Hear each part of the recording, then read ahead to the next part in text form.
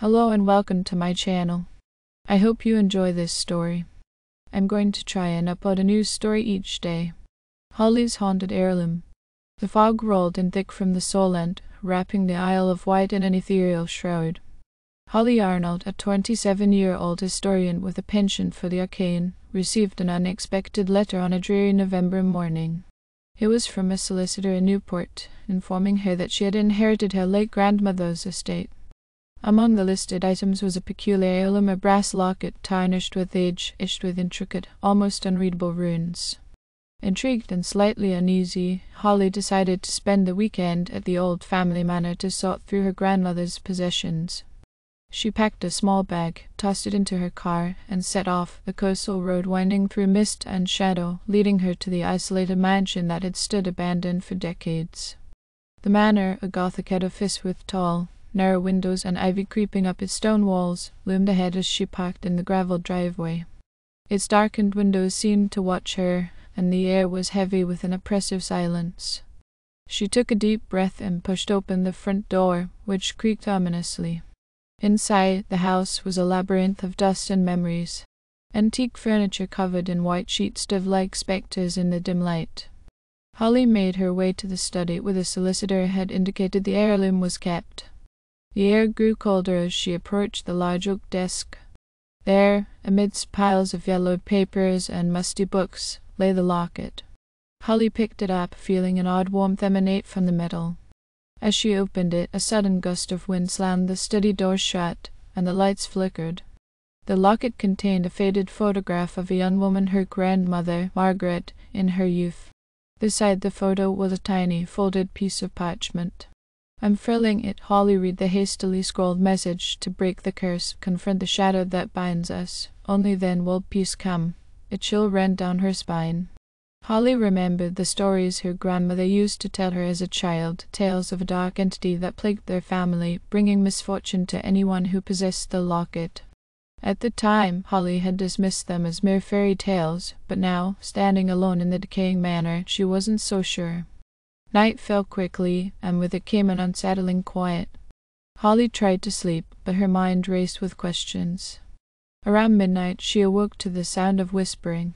The voice was faint, almost imperceptible, but it seemed to come from everywhere and nowhere at once. Clutching the locket, she followed the sound to the basement, each step heavier than the last. The basement was damp and cold, filled with relics of the past. The whispering grew louder as she descended, morphing into a guttural chant. In the far corner, a large, ornate mirror covered in dust stood against the wall. As Holly approached, the chanting stopped and the room fell into an eerie silence. She wiped the dust from the mirror, revealing a reflection that wasn't her own. Instead, she saw a dark, shadowy figure with hollow eyes staring back at her.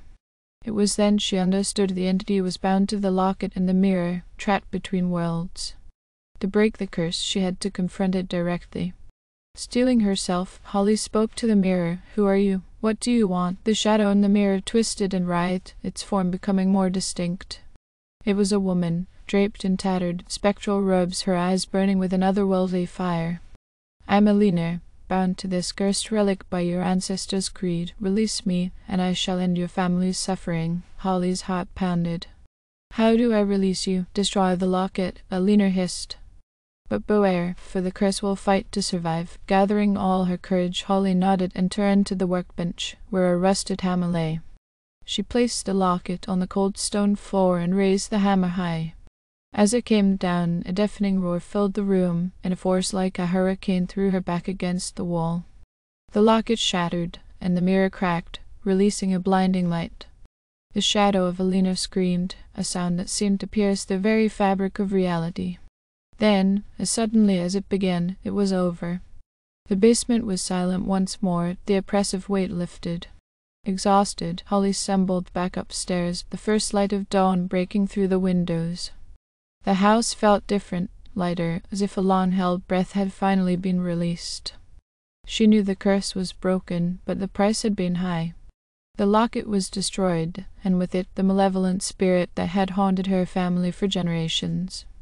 As she left the manor, Holly glanced back one last time. The old house seemed to stand taller, its windows now reflecting the morning sun. She drove away, leaving the past behind, knowing she had finally brought peace to her family. In the weeks that followed, Holly couldn't shake the feeling that something had fundamentally shifted within her. The curse might have been broken, but the encounter with the dark entity had left an indelible mark on her soul. She returned to her small apartment in Ryde, trying to resume her normal life, but the memories of that night haunted her dreams. Holly decided to dig deeper into her family's history, determined to understand the origins of the curse and why it had plagued them for so long. She pored over old diaries, letters, and photographs, piecing together a fragmented story that spanned centuries. The locket, it seemed, had been a family heirloom since the seventeenth century, passed down from generation to generation.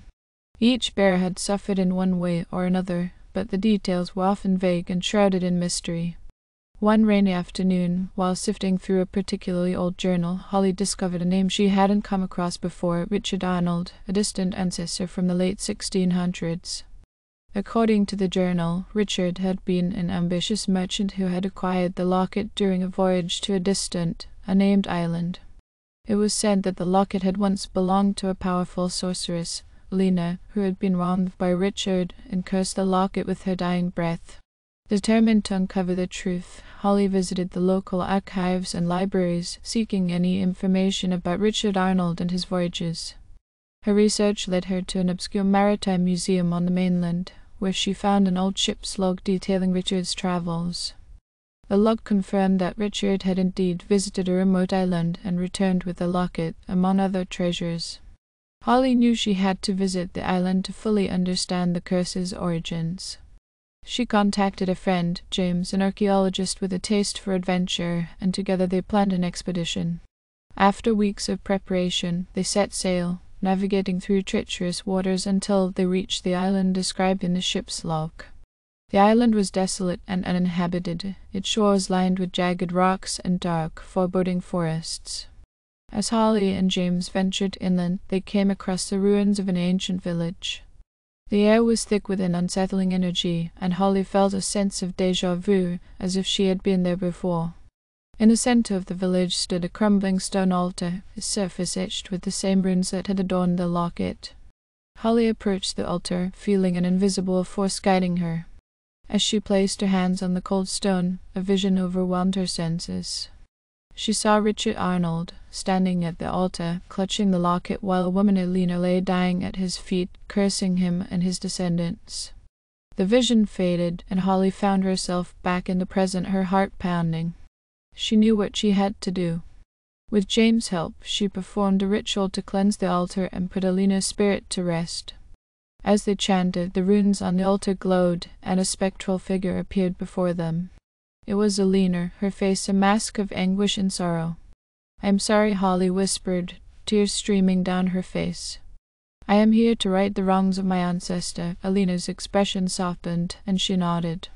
Thank you, she said, her voice a mere whisper in the wind.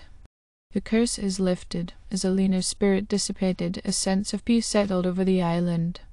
Holly felt a weight lift from her shoulders, knowing that she had finally broken the cycle of suffering that had plagued her family for generations. Returning home, Holly found a renewed sense of purpose. She continued her work as a historian, but now with a deeper understanding of the past and its impact on the present. She wrote a book about her experiences, sharing her family's story with the world and ensuring that the lessons learned would not be forgotten. Years passed, and Holly married James. They had two children, whom they raised with a deep respect for history and a keen awareness of the unseen forces that shape our lives.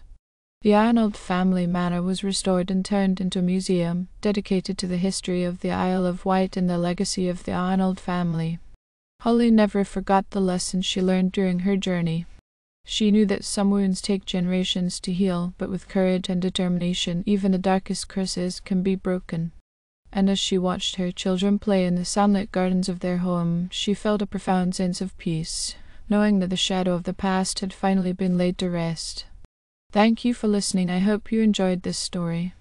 Please don't forget to like and even better like and subscribe. Thank you very much, and I hope you have had or have a great day.